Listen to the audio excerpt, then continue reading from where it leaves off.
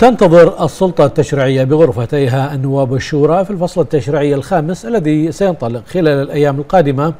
تحديات كبيرة وملفات تتطلب تضافرا لمختلف الجهود لتحقيق الخير والازدهار لمملكة البحرين. ملفات اجتماعية واقتصادية وأخرى سياسية بالغة الأهمية. تنتظر السلطة التشريعية للعمل على مواجهتها والحد من تأثيراتها باستخدام قوة لا تعلو عليها قوة في دولة المؤسسات والقانون وهي التشريعات. على عاتق السلطة بغرفتيها النواب والشورى مسؤولية وطنية كبيرة لرسم ملامح المستقبل وتحديد الأولويات وممارسة المهام التشريعية والرقابية بكل كفاءة لكل ما فيه الخير للمملكة وشعبها.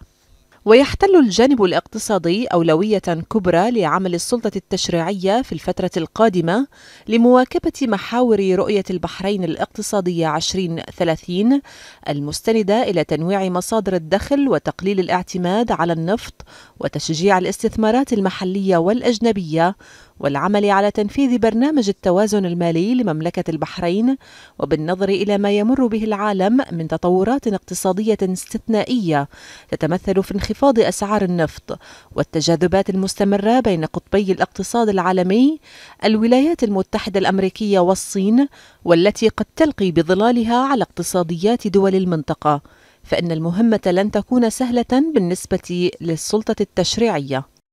أما على الجانب السياسي فإن الأوضاع غير المستقرة التي تمر بها بعض دول المنطقة واستمرار التدخلات الإقليمية في الشؤون الداخلية للدول العربية والعمل على زعزعة أمنها واستقرارها.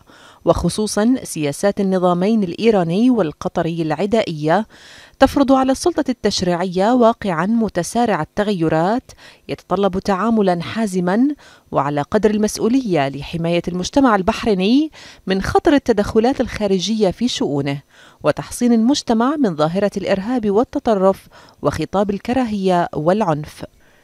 وأخيرا فإن الجانب الاجتماعي لا يقل أهمية عن الجوانب الأخرى والذي يتطلب وقفة جادة من السلطة التشريعية للنهوض بالمجتمع ومواكبة التطورات والتكنولوجيا الحديثة التي تعتبر سلاحا ذا حدين لا يجب إغفال تأثيراته السلبية على المجتمع إضافة إلى نشر الوعي المجتمعي بكل ما هو إيجابي ويساهم في ارتقاء المجتمع في مختلف المجالات.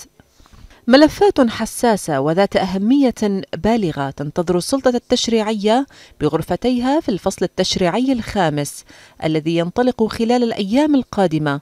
ملفات تتطلب تضافرا لمختلف الجهود وتعاونا بين السلطتين التنفيذية والتشريعية لتحقيق الخير والازدهار لمملكة البحرين.